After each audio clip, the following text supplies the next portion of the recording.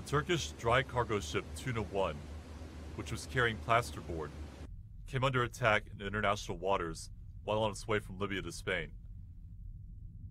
The ship was 30 miles off the coast of the port of Tobruk when the first attack happened. It was shelled from the Libyan coast as it approached the port.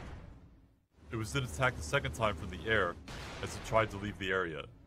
The ship caught fire and was eventually towed to Tobruk.